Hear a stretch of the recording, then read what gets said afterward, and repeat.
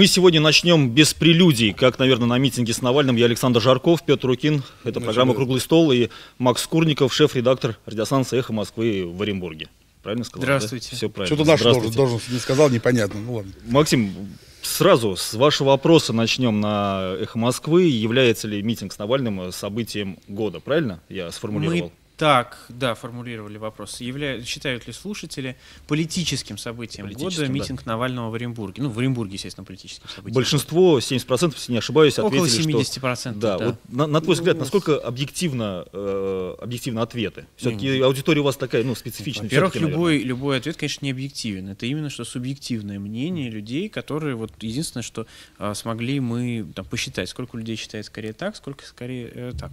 Но, откровенно говоря, давайте попробуем попробуем назвать какое-то другое политическое событие, которое э, у нас затмило бы, понятно, что здесь работают какие вещи. Во-первых, это было событие недавним. И понятно, что оно затмевает. Э, давайте отметим, что не было никаких серьезных выборов, были только до выборы. И поэтому естественно, что политических событий было немного. Был бы, если бы какой-нибудь, я не знаю, какая-нибудь громкая отставка, например, или что-нибудь в этом духе, понятно, что это могло затмить э, этот митинг. Но пока, наверное, я тут скорее соглашусь с аудиторией, это как минимум точно одно из самых ярких событий. Угу. У нас не, не особо богато это было на политические события, вообще вообще годы, скажем, да? скажем так. Поэтому... Мы просто тоже писали опрос перед митингом на прошлой неделе. А, ну, я его сейчас тоже не считаю прям объективно-объективным. Мы опросили человек 10, наверное. Это было на улице Советской, где недалеко полиция, Дом Советов и так далее. Да? И вот из 10 человек, наверное, один только сказал, что пойдет на этот митинг. Ну, Э, пойти на митинг и считать его важным политическим событием, это не всегда одно и то же, да? Ну, да. А, можно не быть сторонником Навального, я, например, не сторонник Навального, да? Но при этом я понимаю, что то, что сейчас происходит в регионах, вот эти все поездки, эти митинги, это важное политическое событие. Вот общее впечатление. Вот у нас Петр был э, на митинге да. от, э, как, наверное, актуально будет сказать, от звонка до звонка, да? Ты, я так понимаю, да, Макс, тоже был полностью на всем митинге от начала до завершения? Даже до начала. Вот. Я вот приехал, небольшой да. кусочек там захватил, если честно. Вот впечатления какие? У тебя, Петр, ну ты работал там, да, с камерой стоял. Ну, я работал, какие впечатления? Ну, приехал Навальный, был очень позитивно настроен, счастлив был, мне кажется, что он приехал ходил, гулял, делал селфи, все время с одинаковым выражением лица, какие-то вот такие вот. Ну, я не знаю, это наверное, фишка такая у него такая, навальновское, навальновское выражение лица. Ну, ничего, вышел на сцену, ну, говорил он какие-то странные, на мой, на мой личный взгляд, вещи, например, то есть там нет, что-то что он говорил такое, что с чем я соглашался, а что-то он говорил, например, мы отменим призыв в армию. Ну, чтобы служить кто будет, что не будет кто служить, что чтобы страну защитить. Контрактники одни, я думаю, контрактниками одними не обойдешься, тем более это выйдет гораздо дороже. Ну, а... Роскомнадзор обещал закрыть. А кто будет следить за... За нами. За, нет, за нами-то понятно, кто будет следить. За нами как бы кто следил, тот и будет следить. Так Роскомнадзор сейчас за СМИ. За, за нами не только Роскомнадзор следит, поэтому да, да. А кто будет там убирать там всяких маньяков, я не знаю, которые в интернете объявляются, будет их там вычислять или закрывать сайты с детской порнографией. Ну, то есть такие вещи, которые я прям вслушивался и как бы... А когда он сказал, что у вас богатый нефтью край, и почему я не вижу людей в норковых шубах в леопа, с леопардовыми воротниками и с сигарами?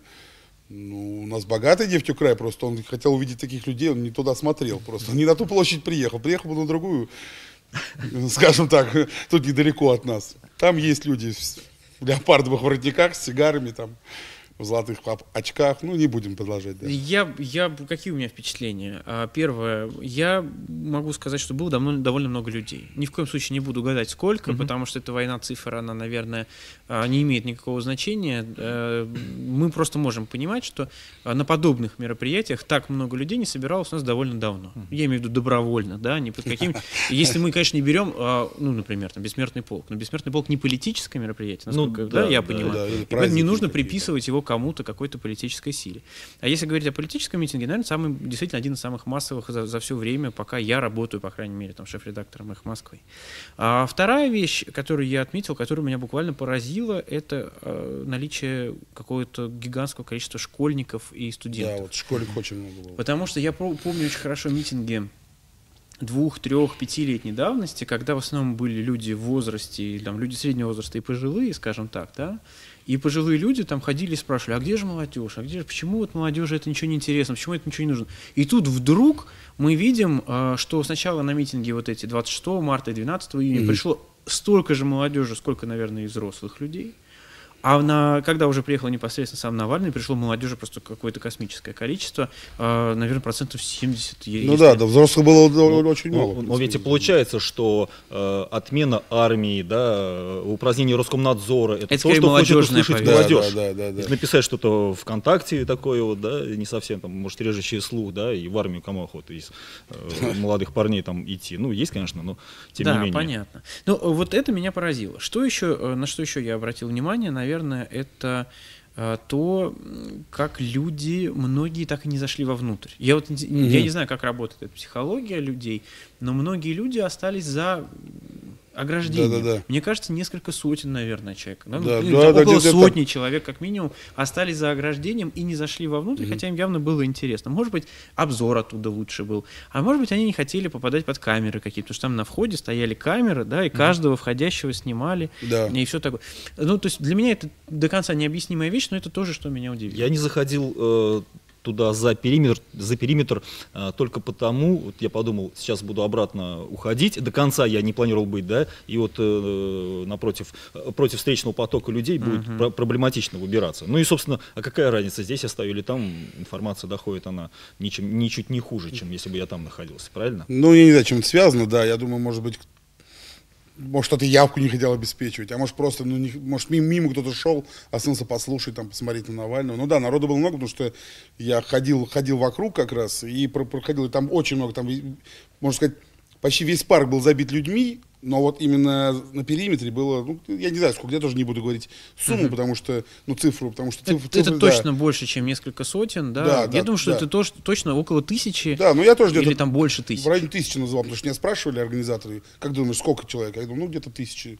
Потому что цифры были Сейчас от, по-моему, 600 до 1800. Значит. До двух с половиной. До двух с половиной, да. это называют, уже, но мне кажется, уже, это уже со, сам штаб Навального. Кстати, вот насчет камер, да, вот, где вот эти рамки и так далее, я не буду говорить название вуза, но вот студент, действующий, скажем так, этого вуза, э, мне, значит, сказал, что настоятельно рекомендовали не посещать э, мероприятия, связанные с именем Навального, потому что в дальнейшем могут быть проблемы с учебой. Ну, ну давайте скажем. Это прямо, прямо студенты, да, да я, я удивлен был сейчас. Давайте прямо скажем, что в городе было организовано огромное количество мероприятий для того, чтобы отвлечь э, людей, в первую очередь, наверное, молодежь от митинга Навального. Э, и мне кажется, что это стратегическая ошибка очень серьезная. Почему? Потому что э, у нас было накануне там, да, э, мероприятие, и мы беседовали там с людьми из разных сфер, и они говорят, тот завтра нас заставляют гнать туда, угу. нас завтра заставляют организовывать такое мероприятие, нас завтра заставляют участвовать в таком-то мероприятии, а, и это говорит о том, что, ну, то есть они говорят, а что, правда Навальный приедет? То есть люди, которые не интересуются никаким Навальным, их гонят куда-то там и объясняют им, вот прям вот черным по белому им говорят, «А, так, Навальный приезжает, надо что-нибудь организовать. И получается, что люди, которые, в общем-то, вне политики, люди, да, которые, да, да. в общем-то, доплевали на Навального, да, они вдруг э, против своей воли оказываются вовлечены в эту игру. Запретный плод сладок. Да, да, а да. это же работает. Во-первых, запретный э, плод сладок. Во-вторых, они понимают, что они должны ну, заниматься какой-то бесполезной, ерундовой, как сейчас модно говорить, фейковой работой, да? То есть это фейковая абсолютно вещь. То есть ты не хочешь играть ни за какую команду, но вдруг одна из команд тебя заставляет за них играть, еще и заставляет жульничать. И это не может не сработать, к сожалению, в, в минус. Более того, э, на этом мероприятии, как мы уже сказали, было очень много школьников, и мы видели, как ходили учительницы, э, вылавливали уч учеников, э, значит, и объясняли им, так, пошли отсюда, потому что тебе, значит, э, еще учиться, сейчас я тогда в полицию скажу, что ты здесь, угу. ну-ка быстро давай отсюда.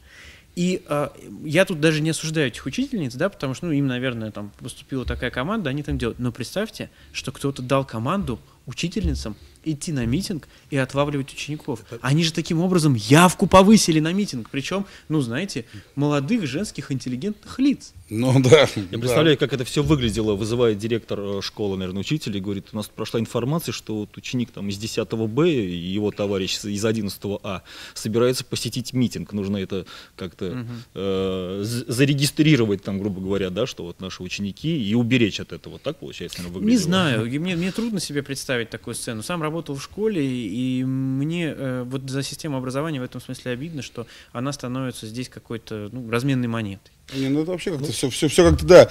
То есть, получается, ПВСК, есть, есть и власть, ну, назовем, не власть, не, не будем так говорить, да. Если кто-то заставляет учителей тех же самых ходить и забирать учеников с митинга, они, наоборот, они показывают что? Что они что, боятся, получается? Вот что? это меня тоже больше да. всего удивляет. А таким образом, как раз власть, тут я не буду да, искать других слов, показывает, что она как будто бы боится, что она mm-hmm. предпринимает какие-то усилия, там, не согласовывая площадки, выставляя, да. Э, якобы там митинги какие-то проходят. Но мы же потом тоже, мы живем в 21 веке. А, и эти митинги, которые проходили параллельно, митинги в кавычках, были сняты на камеру. Там вот, стояло вот, пять вот, плакатов. Об этой фотографии давайте мы поговорим сразу после рекламы. Хорошо. Вот такая фотография.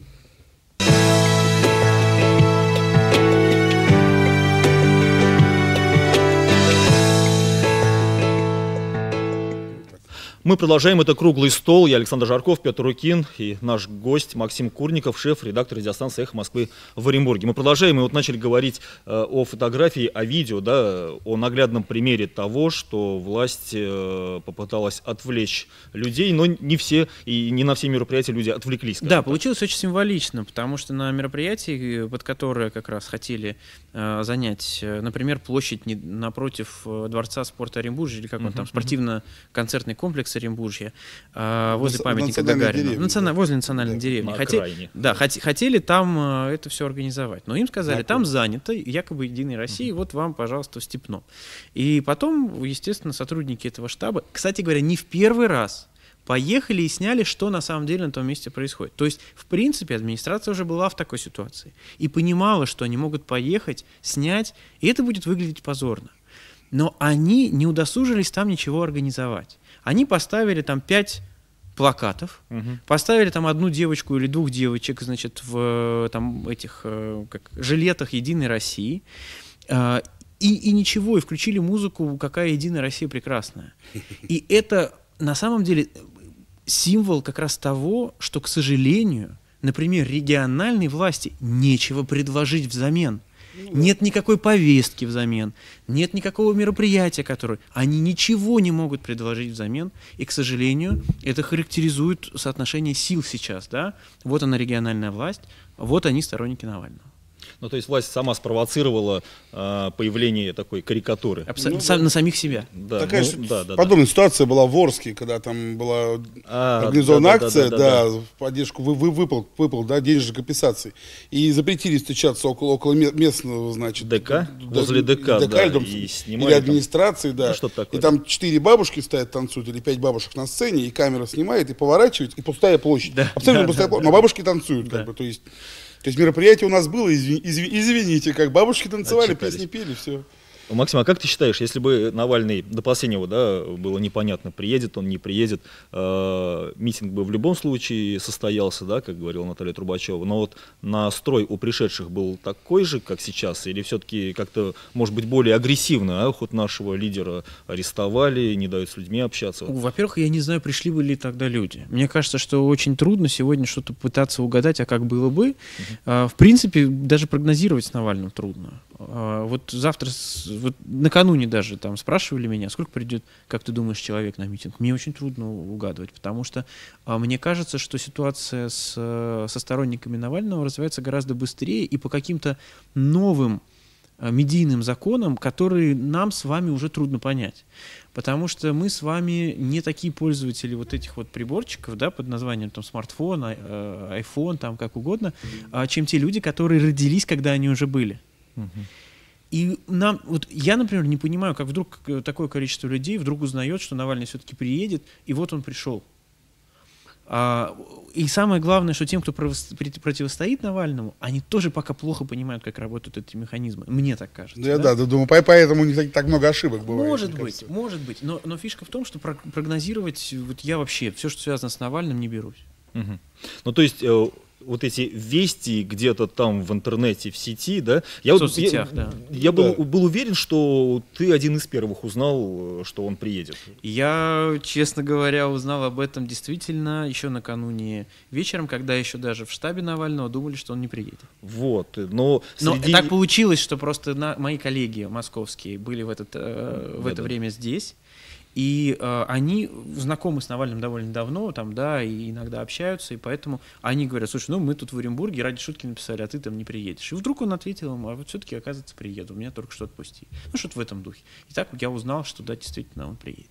А вот смотрите, еще такой вопрос. Э, сразу, наверное, после митинга, во время митинга возникал, да, э, вот все мы люди в СМИ, да, знаем, что это такое. Вот почему, допустим, те э, газеты, телевидение, которые не освещают это мероприятие, объективно, допустим, да, приехал, они же могут, по идее, эту, э, это мероприятие использовать э, вообще против. Приехать, показать, вот тут 50 человек. Почему этим нельзя воспользоваться? Ведь ну, ну, согласитесь, это ну, или тоже, показать, тоже да, было бы опять, интересно. Же, тех же самых школьников несовершеннолетних. Здесь и подход сказать, что... можно какой-то найти, чтобы все это вот просто вот разобрать там по полочкам, да, что все плохо, не ходите в следующий раз. Я могу про эту большую телегу прогнать на самом деле, потому, потому что это очень важная э, вещь. Дело в том, что, как мы уже сказали, те, кто противостоят Навальному, а мы понимаем, что, к сожалению, э, у нас э, Навальному противостоят не какие-то политические силы. Вот я, например, тех, кто не любит Навального, уважаю ровно так же, как тех, кто там Навального любит, uh-huh. да. И я тоже считаю, что они очень часто говорят очень мудрые мысли и критикуют Навального по делу и, и правильно делают. А, и те, кто критикует Путина, точно так же, да, их тоже нужно уважать, и точно так же нужно э, давать им там место для высказывания. Когда средства массовой информации, которые с участием государства или э, просто там добровольно легшие под государство, давайте так mm-hmm. это сформулируем, начинают играть не за не за государство, не за страну, а за конкретную политическую силу в лице Путина, например, mm-hmm. да, а, то, конечно, а, искажается все. И самое главное, не теряют доверие аудитории. И это как раз мы видим. Как бы нам не рассказывали, например, на ГТРК, как мы хорошо живем, вдруг приходит огромное количество молодежи, которая ГТРК не смотрит. Потому что ГТРК потерял этого зрителя, да, а, несмотря на то, что там есть какие-нибудь сайты, есть какие-то ну, соцсети, все, ну. они потеряны. И тут возникает на самом деле обратная штука а, люди, которые недовольны нынешней властью, они разрабатывают свои системы общения с людьми, даже не через те средства массовой информации, которые стараются работать профессионально, как Орен ТВ, например, или как Эхо Москвы. Они понимают, что им нужно разрабатывать какие-то свои прямые каналы связи. И получается ситуация, когда мы этим политическим силам не нужны. И, честно говоря, а, мы, как, ну, вы как телеканал, например, да, могли бы взять у него интервью, показать это интервью десяткам тысяч своих зрителей, а они говорят, а вы знаете, у нас нет э, времени для интервью, мы будем селфи делать. И стратегически в смысле политики, в смысле агитации, в смысле своей пропаганды угу. навальновской, да, они правы, потому что получается, что вот это сейчас работает больше, чем э, наши материалы, чем э, телевидение, чем газеты, чем все что угодно. И Не, это, ну... это огромный слом, который мы с вами видим своими глазами. Это какая-то ну, новая техническая революция или новая ну, информационная Работ, Работает больше, но ориентировано это скорее на молодежь больше. Для людей, которые там которые 70% которые пришли, собственно, на его митинг, это и была та молодежь, которая вот селфи, вот, вот то, мы писали интервью, ходили вокруг, и да. ну, не все, мы показывали их вчера в нашем эфире, но не все они вошли. И мы писали молодежь, которая там по 18 лет, и почему вы пришли на митинг? Я недоволен действующей властью. А что вам не нравится действующей власти? Ну, при ней невозможно жить. А что вы понимаете по этой невозможно жить? Ну и, и ну вот, вот, я смотрел в интернете, угу. никто не борется с коррупцией. Вот, например, например ну, как один из вариантов ответов. То есть я считаю, что, ну, мое, мое личное мнение, опять же, штаб Навального, он делает ну, ошибку такую, такую, то понятно, что он не работает со СМИ, например, потому что то же самое сказал Орен ТВ или Эхо Москвы, да, возьмем, возьмем. Их слушает в основном, ну как, ну и в, ну и в основном, да, да, Большая ну, часть больше, взрослых, больше часть взрослые, 30, 40, 50 лет, те люди, которые уже пожили, уже знают, уже видели как бы эту жизнь. А вот, да простят меня молодежь, если она увидит этот эфир, да, Да, она все равно не смотрит. ну, все равно не смотрит, но все равно, все равно, да простите меня, молодежь, вот 18-летний, я помню себя 18-летним, и помню себя сейчас, и остановлюсь, себя сейчас, и я тогда был очень, очень, очень глуп. В 40 лет, я думаю, буду, буду думать, что я сейчас ты в, в своем возрасте я очень глуп, поэтому как бы... Сейчас Макс говорил э, о, о наших коллегах, да, тоже телевизионщиках.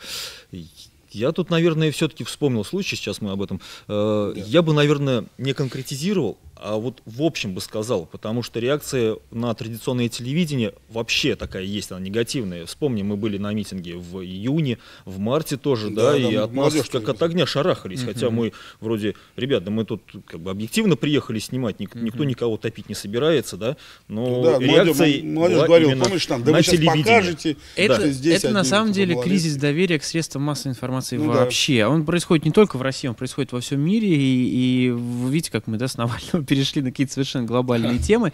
А, и, наверное, наверное, с этим нам придется как-то как быть, как-то как как мириться или как-то пытаться э, с этим работать. Но э, давайте просто зафиксируем тот момент, что э, то, что местные средства массовой информации, которые э, аффилированы с государством так или иначе, не рассказали об этом, для аудитории Навального не имеет никакого значения. Но для зрителей есть э, определенное подтверждение того, что Да, абсолютно точно. Но, но зритель скажет, ага, был огромный митинг, я был на нем, или там мои дети на нем были, а о нем ничего не сказали на телевидении. Это еще одна монетка в эту, знаешь, копилку э, того, что, ну, понятно, они все врут. А это означает, да, все верно. И мы, и, и мы, и мы попадаем все, можно сказать, по эту гребенку тоже. Потому Абсолютно, что да. Навальный со сцены был, был такой момент, когда он сказал, что, Что все СМИ в что России все СМИ в ужасны. России Да. ужасные, все, все СМИ в России врут. Абсолютно. Ну- Было немножко обидно стоять, снимать это и слушать, когда он мне в лицо говорил, что все СМИ в России врут. Я, я, я сказал Татьяне Ленковой, Мы- нашему зам- Давайте, коллеги, у нас вот это время можно- заканчивается, давайте, может, чтобы- Может быть, уйдем, может быть, пожелаем. мы врем, не будем снимать его. Пожелаем друг другу, мы чтобы мы, наши СМИ, были для всех хорошие, и для тех, и для других, чтобы все Или нас смотрели, слушали. В этом тоже объективность. да, да, Да. да. Это был «Круглый стол». Петр Рукин, Александр Жарков, Максим Курников, шеф-редактор «Эхо Москвы» в Оренбурге. До свидания. До свидания.